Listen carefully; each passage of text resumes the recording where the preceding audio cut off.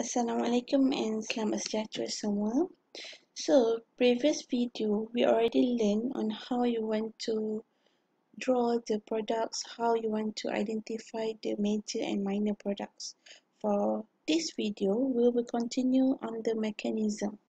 So, let's revise first what is reactions and what is mechanism. So, reaction is just like, okay, you have butane and then we add VCl2 and then you have UV for the halogenation reactions and then you classify primary, secondary, secondary, primary and then you know that you will have your major and minor products. So how you want to determine your major and minor depends on the type of carbon. Okay. So major will be at your uh, stable carbon which is secondary as compared to the primary. So for the minor, your Cl will attach to your primary carbon. Alright. So this is reactions. Okay, so meaning that you nampak you have your starting materials and then you have your reagents. Okay, this is your reagents. This is your starting materials and then you have your reagents and then you have your conditions okay and then you have your products. So this is reaction okay. Reactions or we call as balance uh, chemical equations. So if balance you can plus with HCl alright? So this is reactions ataupun equations alright? So right now what is mechanism mechanism describe the process that occur when your starting materials react with, with your reagents and what happened. Okay the process whether the cl attack your starting materials or your starting material will attack your cl okay so it tells you the process on how you want to produce your products. So the process is mechanism equations is the reactions or balanced chemical equations. Okay, so this is your first mechanism. Okay, we known as substitutions reactions. Okay, kenapa substitutions? Okay, so yang macam saya terangkan ke awak, you ada CH4 for example, and then guna UV, so your products adalah CH3Cl plus dengan HCl. Kenapa nama dia substitutions? Sebab you substitute one mole, sorry, one atoms of hydrogens. Okay, you substitute dengan one atom of Cl. So, dia tiada uh, perbezaan daripada segi bilangan bonding. Okay, originally carbon awak ada empat bonding. Okay, bila you dapat products, Okay. Produk awak juga masih lagi ada bonding yang sama. Tiada perubahan. Kalau dekat sini ada empat sigma bond, you punya produk pun you ada empat sigma bond. So, tiada perubahan daripada segi bilangan bonding. So, yang berubah adalah satu hydrogen is substituted by the one atom of Cl. So, that's why this reaction is known as substitution reactions. Okey, kenapa nama dia free radical? Sebab the Cl atom will turn to radical atom and then barulah dia akan substitute pada kawasan ini. Okay, pada this atom. So, yang disubstitutekan bukanlah Cl2 tapi yang kita substitutekan adalah Cl radical. Sebab tu nama dia free radical substitutions reactions. So the reactions consist of three uh, process which is the first one is the initiation step, the second one is the propagation step, and the third one is the termination step. Initiation step is the process of producing the free radical. Free radical produced uh, will initiate the uh, reactions. Right, and then we'll proceed to the second step, which is the propagation step. So in this process, the hydrogen atom will be substituted with your halogen radicals. Alright, so and then in this step, it can continuously until you get your final products. Okay, so when you get your final products, and then we will continue with the determination step. So this is how you want to stop the reactions. So uh, we will look on the process or the mechanism. Alright, so let's say this is your compound. You have propane. So the first thing you have to identify the type of carbon. Okay, so if you're still not clear, you can refer to the previous video. So you have two type of carbon. So meaning that you can have two products. One at your secondary carbon and then the second one at your primary carbon.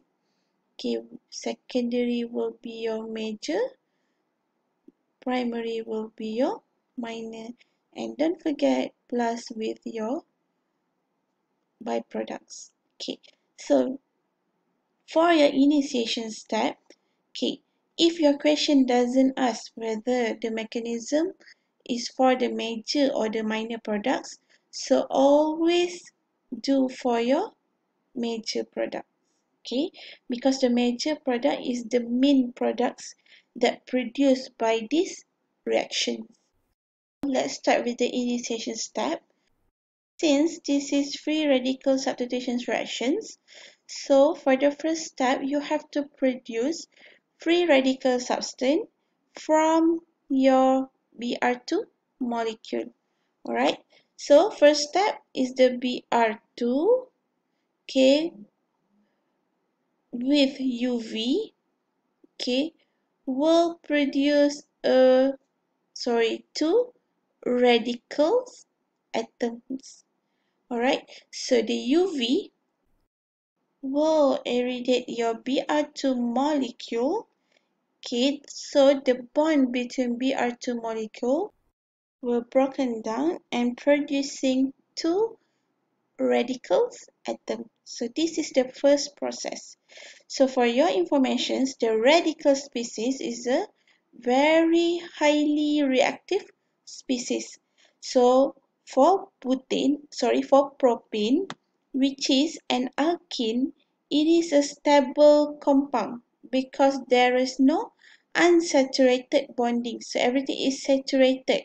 So everything is very stable. So that's why we will need a radical species to disturb or to disrupt the stability of alkene.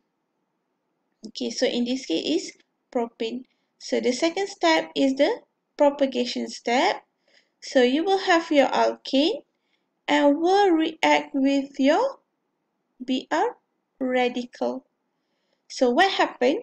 So referring to your major products, so the Br will be substituted at the second carbon. Okay, so maksudnya dekat sini lah. Alright, alright. So this one. Okay, this carbon. So apa yang boleh buat? You boleh tarik satu hydrogen atom untuk keluar. Okay, sorry saya ingat sikit supaya boleh nampak. Okay, so ingat dia akan bertukar tempat. Okay, so sekarang hydrogen dekat sini, so dia akan tukar tempat dengan radical. So right now, radical akan ada pada tempat hydrogen. So hydrogen akan duduk pada tempat radical. Okay, so itu adalah first step. So, tengok pada punya products belum dapat lagi BR dekat sini. So, meaning that you kena continue lagi. Alright, so continue macam mana? Salin je semula. And then plus dengan BR2 molecule. Why molecule? Because radical, kalau jumpa dengan radicals, dia akan buat bonding. So, the reactions akan stop. Alright, so sama juga tukar tempat Okay, satu mol BR akan pergi dekat tempat radical. Radical akan attach balik dengan BR yang tadi. So, you akan dapat another BR radical. So the process akan berlaku continuously sampailah salah satunya akan jadi limiting reagents as I mentioned before. Okay, in the previous video. Okay, tapi for the theory, as long as you dah dapat your final product yang you nak, so we can stop the reactions. So kalau you check dekat meja atas ni dalam kotak ni, so dah jadi sama dah macam produk yang you produce kat sini. So theoretically, we can stop the reactions.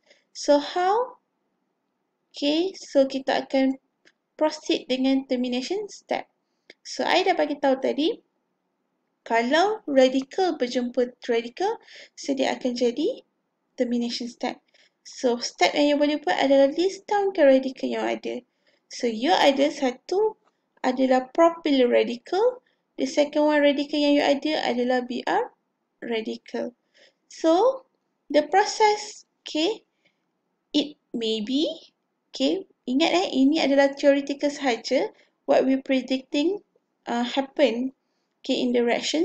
So maybe the radical atoms, okay, alkyl ni, dia akan bertemu dengan radical of Br. Maybe, okay. So what happen? Radical adalah kawasan yang kurang satu bonding. Dia kurang satu bonding. So tempat yang dia kurang dia akan bertemu. So bonding akan terbentuk pada tempat yang kurang bonding. Alright? To make sure each of the compound tu capai octet dia. So, mungkin juga this alkyl molecule dia akan bertemu dengan diri dia sendiri. So, yang ini radical di sini plus juga dengan radical yang sama. So, what happen? Dia akan attach together. Di mana? Di kawasan radical dia. Okay. So, and the last one, mungkin juga your BR atom bertemu dengan diri dia sendiri. Okay, so you akan dapat BR radical bertemu dengan BR radical. So, what happen? Dia akan bentuk semula BR two molecule.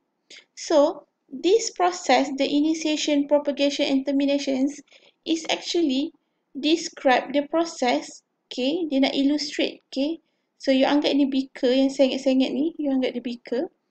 And then dalam ni saya letak propane. Okay.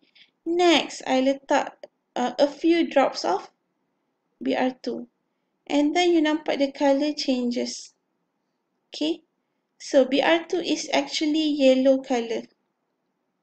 So this one uh, propane is a colorless.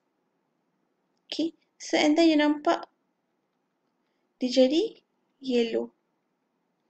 And after you wait for several minutes, and then you tengok dia jadi decolorize balik. So, process initiation, propagation, and termination tu, it tells you kenapa dia jadi daripada uh, yellow dengan color ni bercampur jadi yellow and dia jadi decolorize balik. Alright? So, kenapa? So this is reactions.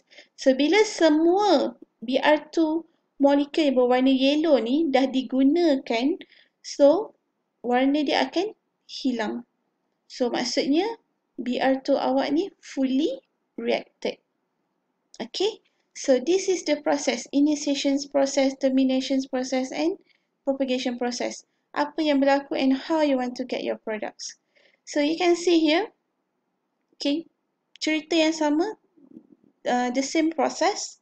Okay this is for uh, methane. Okay so you boleh um, refer to your notes. Ada juga dalam notes. Okay untuk termination step yang paling mudah adalah nombor tiga ni. Okay so tak kisah sama ada dia CL ataupun BR it can undergo the same termination step. Okay the thing is you kena um, fokus sikit dekat propagations products macam mana yang you nak produce. Because the initiation step it doesn't matter you guna apa pun the initiation step is still the process of producing two radical. Tak kisah sama ada BR2 ataupun CL2 so Okay, yang untuk main product ni pun saya dah sentuh before this. So, thank you